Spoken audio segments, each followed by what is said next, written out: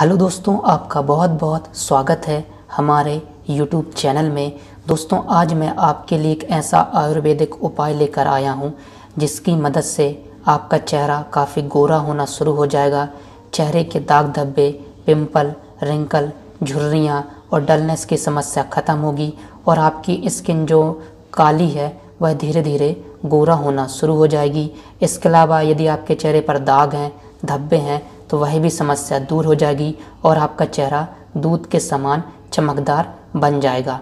इसके लिए आपको शैम्पू की आवश्यकता होगी और शक्कर के पाउडर की आवश्यकता होगी। तो आइए दोस्तों, हम इस रेमेडी को बनाते हैं।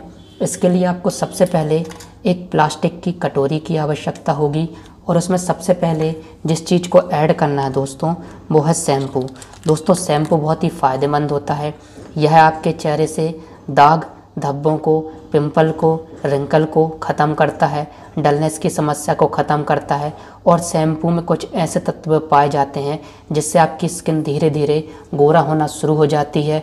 इसके अलावा आपके चेहरे पर जो दाग हैं, वह ख़त्म हो जाएँगे और आपकी स्किन शैम्पू की मदद से गोरा होना शुरू हो जाएगी। तो दोस्तों, इसको शैम्पू को आप ऐड करना है।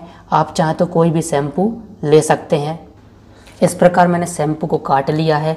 अब इस पूरे एक शैम्पू को दोस्तों क्या करना है? इस कटोरी में मिला देना है। दोस्तों, शैम्पू बहुत ही फ़ायदेमंद होता है।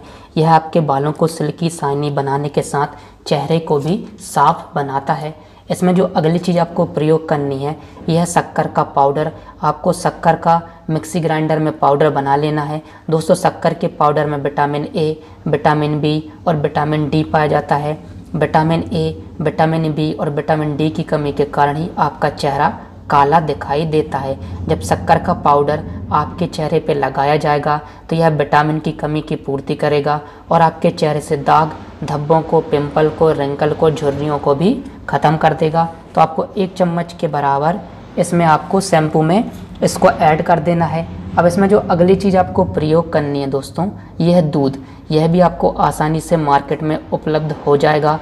आपको कच्चा दूध इस्तेमाल करना है। दोस्तों, कच्चे दूध में लैक्ट्रिक एसिड पाई जाती है, जिससे आपका चेहरा सुंदर दिखाई देता है। लैक्ट्रिक एसिड की कमी के कारण ही आपका चेहरा काला दिखाई देता है। इसके अलावा दूध में कुछ ऐसी प्रॉपर्टीज़ पाई जाती हैं, जिससे आपका चेहरा सुंदर बनने लगता है। तो आपको क्या करना है दोस्तों?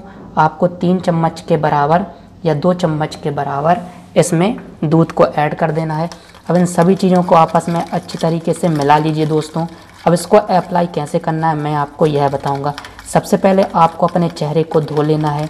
चेहरे को धोने के बाद क्या करना है दोस्तों? उसको अच्छे तरीके से पहुँच लेना है। फिर इसको इस प्रकार लेना है और अपने चेहरे पर इस प्रकार अप्लाई करना है। चेहरे पर अप्लाई करने के बाद दोस्तों क्या करना है? एक घंटे तक लगे रहने देना है और एक घंटे के बाद इसे ठंडे पानी से धो लेना है और आप देखेंगे कि मात्र एक ही बार के प्रयोग से आपका चेहरा सुंदर दिखाई देने लगा है।